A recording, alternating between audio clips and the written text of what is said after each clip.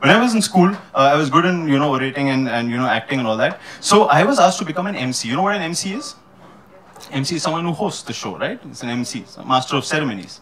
And I was asked to host, a uh, you know, uh, an award ceremony for the school. And I was supposed to in, uh, invite some very important chief guests. Okay. And um, here's the very simple confusion I had. Okay. What is the female of lion? What is the female of tiger? What is the female of Mister?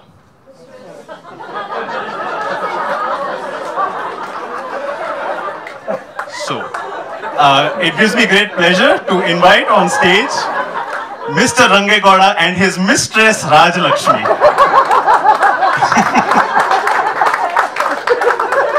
I mean, it's a common, you know, I just thought of that and I'm like, I'm like, yes, mistress, yes, mistress. And, and everyone's upset. And I come out of stage and this lady is really upset and shouting at me. She was the headmistress. Like, you're the head of mistresses. Why are you shouting at me? What did I do wrong? And one year later, I realized that I was right.